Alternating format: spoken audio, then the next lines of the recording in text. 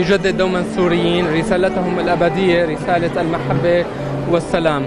اليوم نشعل شجرتنا ونتمنى أن تكون آخر أيام الفقد وأيام الحزن لكل السوريين كما يحتفل أبناء الحلب وأبناء حلب والسوريين بخلو مدينة حلب من الإرهاب. نأمل أن يعم الانتصار أيضا في كافة بقاع الأراضي السورية.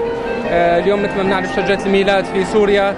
لا ترتبط بطائفة أو ترتبط بدين أو عرق وإنما هي برسالة المحبة والسلام لكل السوريين. الاحتفال هو بمناسبة الأعياد. نحن اللي قادمين على أعياد ميلاد السيد المسيح ورأس السنة الجديدة إن شاء الله تنعاد على سوريا وعلى شعب سوريا على جيش سوريا بالخير والبركة والنصر. ورمزيته بهالأيام أنه نحن لازلنا ثابتين في أرضنا. لأن إحنا وما بيقدر حدا يقلعنا من هذه الأرض.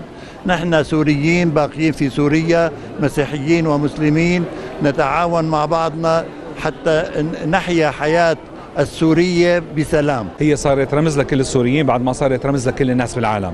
اليوم من كل الأديان بكل الدنيا بيعيدوا براس السنة بهالشجرة الحلوة.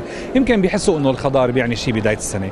رح نشارك من هذا المكان اللي بيشاركوا فيه ناس كتير. رح نقدم 13 أغنية بشي خمس لغات. خمس لغات لحتى نقول نحن شركاء سكان الكرة الأرضية في هذا الفرح.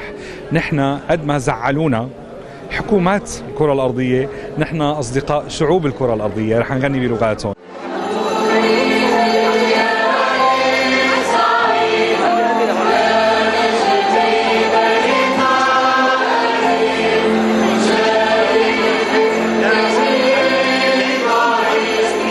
إدارة فندق داماروز.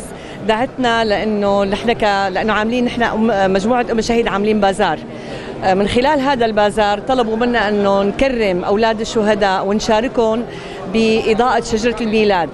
طبعا نحن اليوم بأرواح شهدائنا عم نضوي كل شجرة بسوريا. لولاهم ما كنا أضأنا ولا شجرة. آه نحن الريع هذا البازار اللي عاملينه نحن بالدور التاسع ريعه بده يصير لأسر لأولاد الشهداء إن شاء الله.